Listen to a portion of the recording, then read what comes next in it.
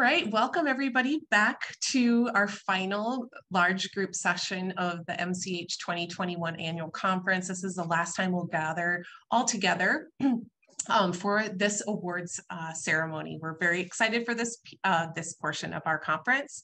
To maximize this time, first I'm going to announce the awards and the winners and then um, hand it off to my colleagues for a conversation with those award winners. So um, I, I, first want to uh, announce the Steve O'Neill Outstanding Organizer Awards.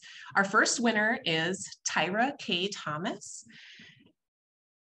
Tyra is one of the original founders of the group Street Voices of Change, using her own experience to pull a community of advocates together toward a common goal. From the people that nominated her, Tyra is an incredibly dedicated organizer. She is able to gracefully use her experience with homelessness to help advocate for issues related to homelessness. Tyra knows that nobody is far from homelessness, and she wants to ensure that anyone who experiencing homelessness has dignified and safe shelter, and that their experience will be brief and temporary. Tyra is committed, dedicated, and consistent, and she knows shows up in so many ways for, for the community. She does this work with love and compassion. Additionally, her friend Sherry Shannon said, Tyra is strong, dedicated, supportive, a mentor, always patient, and most importantly, is always loving on others. Please join us in congratulating Ty Tyra on her accomplishments with the Steve O'Neill Outstanding Organizer Award. Our next winner is Sherry Reimers, who is the executive interim executive director of the An Young Center. She was nominated specifically for her work in piloting and leading the formation of the American Indian Intertribal Youth Council, engaging American Indian youth who have lived experience with homelessness, the foster care system, adoption experience, and in juvenile justice systems. The American Inter Indian Intertribal Youth Advocacy Council was developed in response to the desire expressed by many young people to actively participate in systems change and advocacy efforts to ensure equity in housing, workforce development, education, and other policy areas specific, specifically for Black, Indigenous, and people of color. From the folks who nominated her, I personally have always looked up to Sherry Reimers as a strong Native woman and a leader in our community. She has worked so hard for our youth and our community. Please join me in congratulating Sherry for her accomplishments with the Steve O'Neill Outstanding Organizer Award. Our next award category is the Bruce Vento Distinguished Service Award, and our first winner is Laura Birnbaum. Laura is, in the words of those that nominated her, a hero in the homeless response system. When there is a problem that needs solving, folks turn to Laura, whose first response is, let's pull together. Whether it's finding mental health providers, meeting unmet basic needs, strengthening landlord and tenant relationship, relations, or even making sure that folks are able to find their essential records. Laura is the key to ensuring that need is met. When we think of distinguished service, people that go above and beyond in every way they can, like Laura does, navigating fine details to making systems improvements, these are the qualities and efforts that exemplify the spirit of this award. Join me in congratulating Laura Birnbaum for her work as with a Bruce Vento Distinguished Service Award. Our next winner is Katherine Johnson, who, in the words of those that nominated her, is a fierce advocate for rural areas, leadership, empowerment, and for authenticity. Catherine exemplifies distinguished service in her work with both staff and people with lived experience. By day, she lines up new partnerships with hotels and mask makers. And by night, she comforts others and challenges them to be better and stronger with more authentic leadership. Whether there is an opportunity to step up, whenever there is an opportunity to step up, Catherine is there. Whether it's running the Northwest COC, starting pilot pro programs to end youth homelessness, or removing a systems barrier, Catherine leans into her work to strengthen her community. Catherine doesn't just sit in the comfort of an executive suite. She is doing the work that brings people together every day. Join me in congratulating Catherine Johnson for her work with the Bruce, Bruce Vento Distinguished Service Award. Finally, uh, our, our final winner is Tracy Berglund. Tracy will be leaving Catholic Charities after 20 years of incredible service to Catholic Charities and our community. When looking at her nominations, one theme kept emerging the dedication she had to find a way to say yes. Whether it was responding to COVID safety precautions, leading complex capital campaign develop, developments, including a new Exodus 2 project, or re redefining what person-centered meant. Tracy has always been willing to find a way to say yes.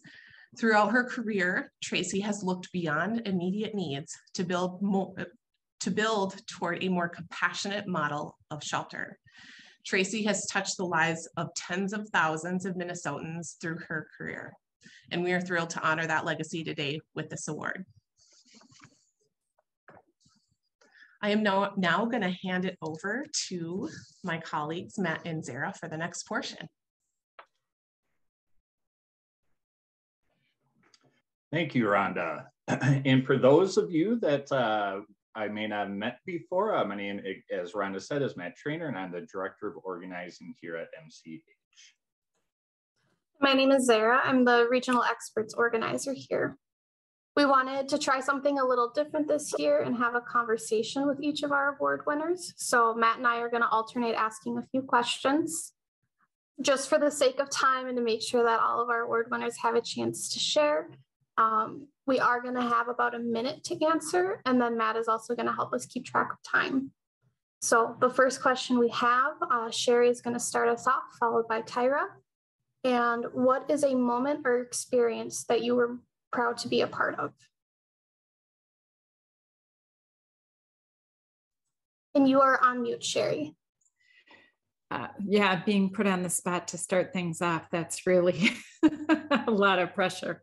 But um, I think it's actually two moments, but I'll take one. Um, back in the 90s, we had a much smaller uh, homeless issue in the Native community, and much of that was right around the Indian Center and we took a um, culturally based um, a, a, situation and we um, we um, used culture and infused it into the Akichita Society. We figured if we took ownership of the property around us, that um, it would build um, more days of sobriety and less incidents of homelessness. And what they did is they actually took charge of the center and started cleaning up, and they were starting to be hired um, under vouchers from the other organizations.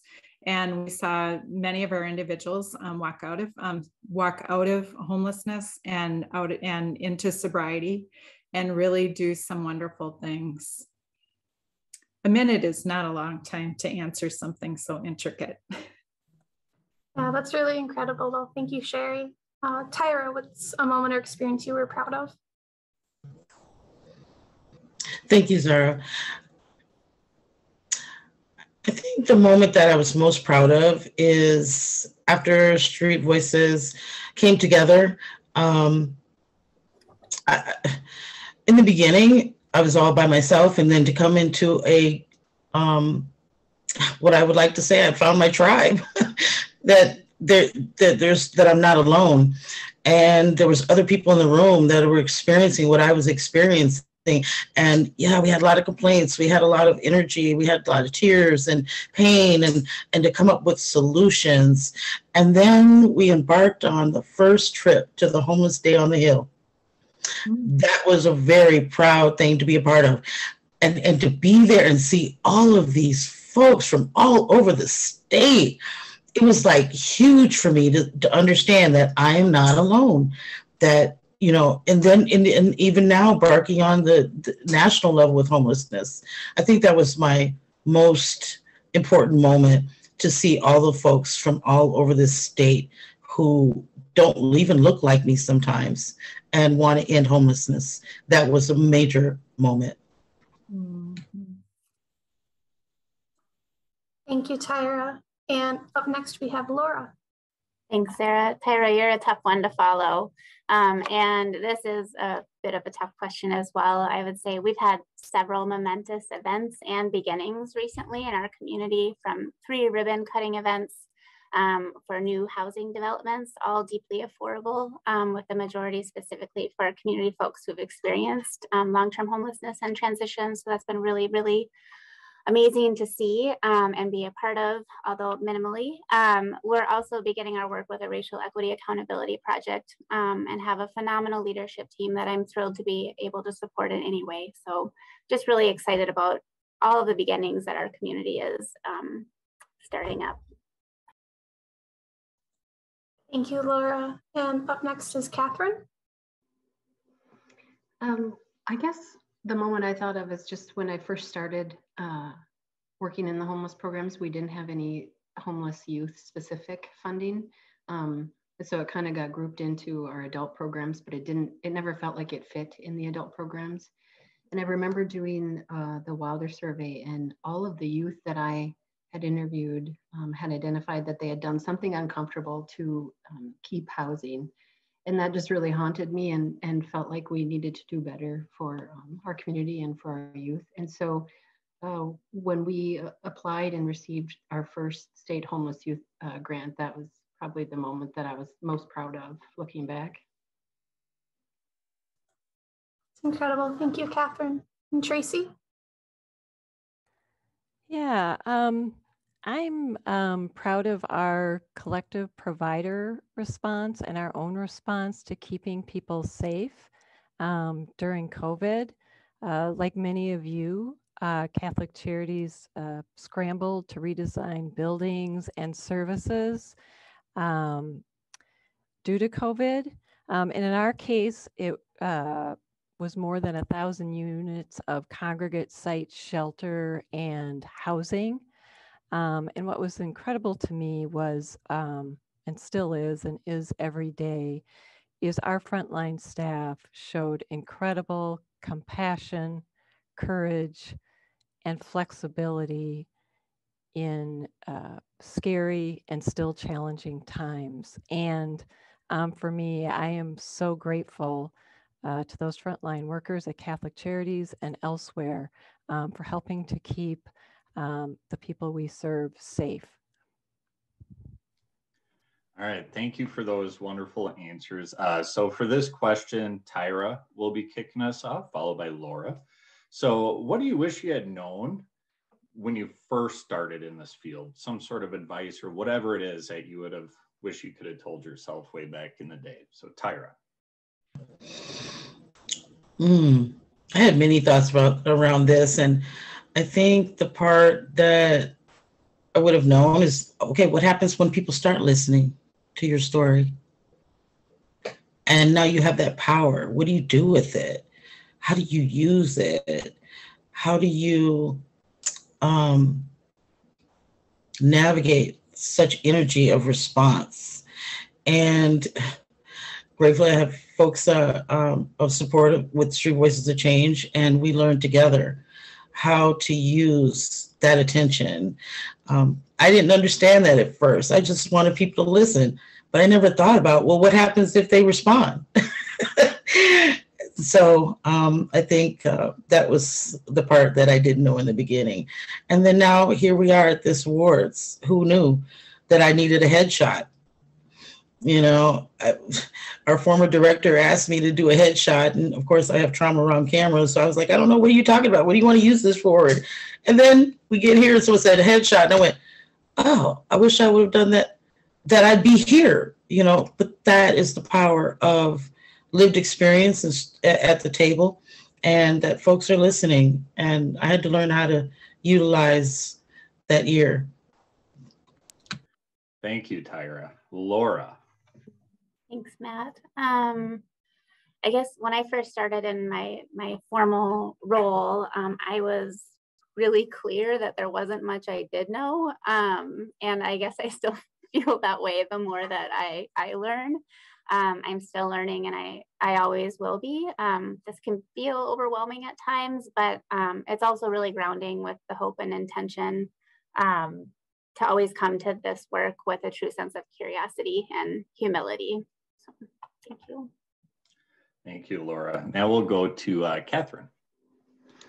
Yeah, I sort of was on the same lines. I, I think I would say the more I thought I knew, the less I actually did know. Um, and I also wish I would have been uh, better at just sharing space with people during hard and vulnerable times. I used to think you always had to say something or or know what the right thing was um, to say or to guide or direct, but uh, really it's just it's just showing up and sharing space. Thank you, Catherine. Uh, now we'll go to Tracy. So many things I wish I would have known, but I'm only going to talk about um, three. So um, I started out as a shelter advocate at St. Stephen's Shelter a long time ago. Um, and I wish I would have better understood the impact of trauma on our shelter guests. Um, when I started trauma informed care, uh, changes of uh, stages of change, motivational interviewing weren't really there. And, you know, those are critical tools for building relationships uh, with our clients. Um, I also wish I would have understood um, the perseverance required for advocating and creating change. Uh, when I was an advocate, I became pretty easily frustrated and sometimes immobilized. Um, but what but what I perceived as a lack of progress um, in getting humane shelter and more housing units. Um, while that was understandable, it really didn't uh, serve the cause, um, which kind of brings me to the last thing, um, the importance of celebrating success, whether that success is big, large, medium, small, um, it is so critical for us to celebrate our successes, create that momentum, and just lift our spirits. Thank you, Tracy. And to close out this question, we will have Sherry. So, um, definitely my thoughts right along with everyone else, and certainly not trying to take the easy way out. But um, I have to kind of bank on what Tyra said because she literally took the words right out of my mouth. And that's really, you know, um, utilizing the power of lived experience at the table and really being able to advocate change. Though that was in the 90s when I started this work. And we were we were in a different time where lived experience was not valued, but that would be one for me. Thank you, Sherry. For this next question, we are going to start off with Laura and then followed by Catherine. What is something that gives you hope or fuels your passion? Thank you, Sarah. Um, lots. I think some of the things fuel both hope and passion, and some maybe more just the passion side. Um, but stories, the realities, um, injustices, and the inequities that people experience um, is a big part of what fuels my passion. Um, but humans and community give me hope um, and fuel. Um, I feel really, really lucky about the community um, that I'm continually amazed and honored to work side by side with um, advocates, providers, um, people with lived experience, team, my team at St. Louis County. Um, our community's determination, spirit, and authentic partnerships continually refresh and inspire me. Um, this often provides hope when people share their journeys, their stories of mistrust, misunderstanding, systemic racism, and oppression, but as well as resilience and love. Thank you, Laura. And Catherine? Um, I, I think for me, it's authenticity and connection, uh, which is funny that folks that nominated me mentioned that in there because I guess maybe I do talk about it a lot. But um, Brene Brown has this definition of connection. And when I came upon it, it just really resonated with me. And uh, if it's okay, I'll just read it. She uh, defines connection as the energy that exists between people when they feel seen, heard, and valued, when they can give and receive without judgment, and they drive sustenance and strength from the relationship. So when I uh, came upon that, I asked our board members to lean into that and our staff to lean into that. And I try to, um, I, I think that gets me excited about the work that we're doing is just being authentically ourselves and working on on connection because I think connection really uh, crosses a lot of areas that that's that can be healing. Thank you, Catherine and Tracy. Um, yeah, I, I think it's also um, the resiliency of the people we serve. Um, Laura mentioned that as well. Um, it's been a privilege over the years to witness uh, numerous families and individuals overcoming numerous obstacles and adversity um, to build better um, lives for themselves. Um, that's been very uh, inspiring and amazing. Um, the other thing I would say is um, the increased uh, community commitment to ending homelessness.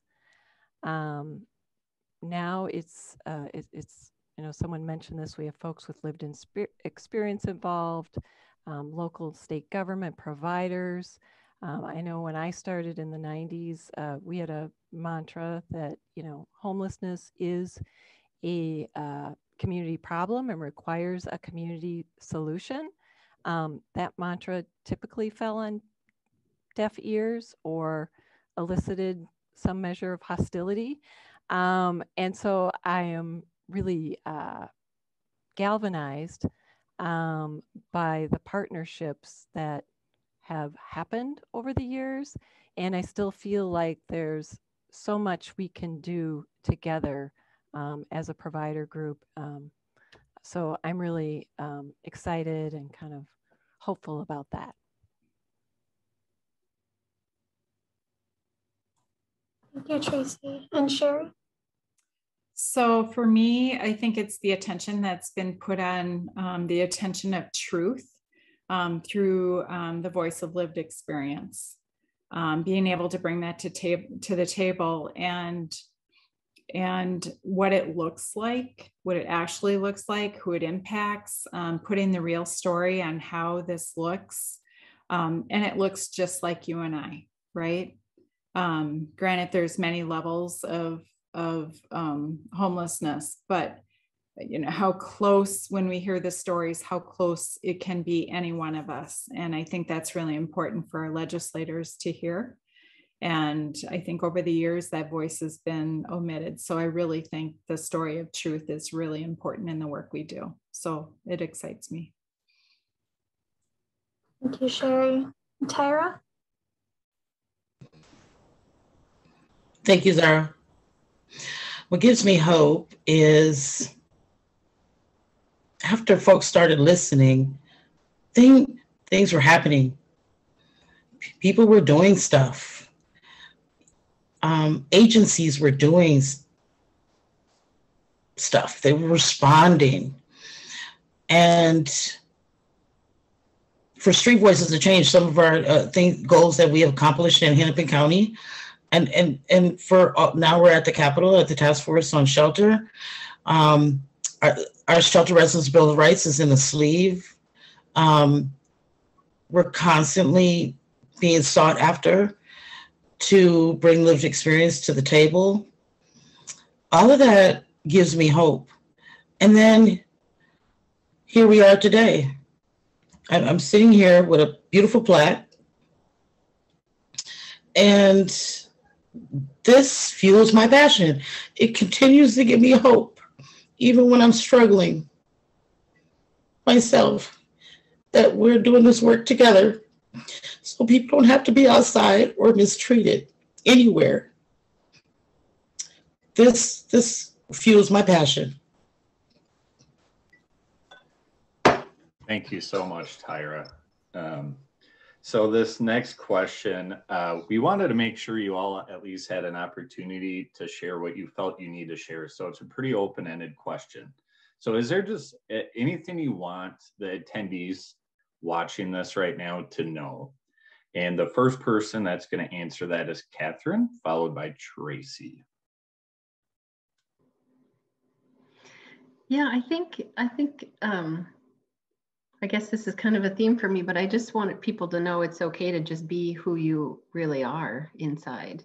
Um, to admit, admit if you don't know something or aren't good at something or, or need help um, on a certain task. I, I, think it's just okay to say that. It, it's okay to own that and lean into that. And then um, I guess the other thing is just the importance of giving grace to people we work alongside and with because I think at the end of the day, we're all broken on some level, just trying to fit in and and and make it. So um, you know, just grace and kindness is is never too much, I guess. All right, so let's go to Tracy. Um, yeah, mine's more of a kind of a reminder um, for myself as much as anyone else. Um, so I'm very conscious that we're short a lot of um, housing units still. Um, so it's just that reminder, I, you know, um, the power of um, our advocacy um, is huge. Um, our collective advocacy has the potential to grow exponentially and create some really large change and hopefully more housing units for uh, folks still experiencing um, homelessness. Um, and so I really see advocacy as a, a key piece um, to what we do, as well as the high quality services. So um, just want to call that out.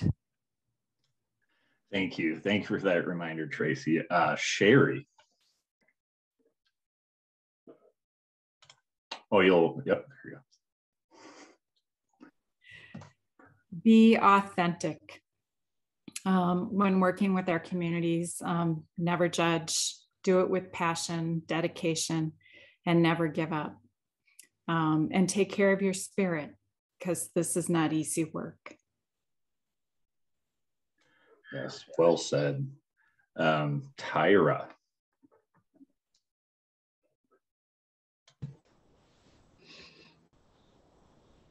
Yeah, Sherry, I, I, we're in each other's heads right now because I was thinking about this last night, and um, the audience are advocates, folks with lived experience, agency is is listening, and yeah, hurt people hurt people. I've heard that, right? And then I heard something not too long ago that broken people help broken people and so we all have something that has harmed us in some way because we're human. How little or big you might think it is, and compared to other folks, we bring a healing spirit and help each other. I heard a story here at church not too long ago where there was a line full of folks who were in pain. And someone an Asian pilgrim comes into the room or comes into the pharmacy, they're in the pharmacy, and he's limping, and no one moved. They allowed him to get to the front of the line and allowed that pharmacist to care for that person's need.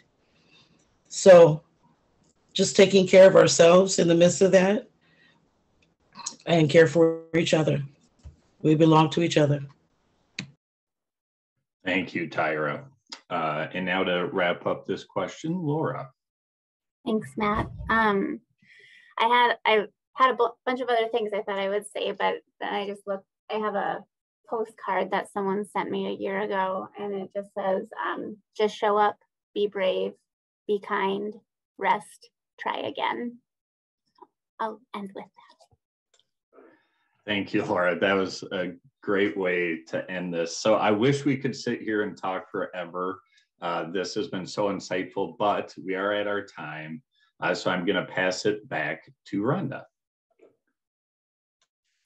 Well, I think you probably, everyone listening can um, just see and hear the passion, compassion, um, and the reasons that these um, nominees were selected this year for our awards. Um, so just a couple of last um, items before you move to your last session of the day.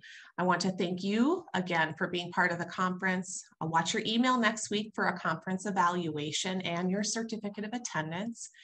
Um, we will also gather up the presenter materials and send those out to folks um, over the next couple of weeks. It might take us a little time to get some of those PowerPoints and um, other information, but we will uh, follow up and, and get those. And um, just want to thank all these award winners for sharing this space with, with us today. Um, we're so proud to be in partnership with you. And um, I hope everybody enjoys their last session.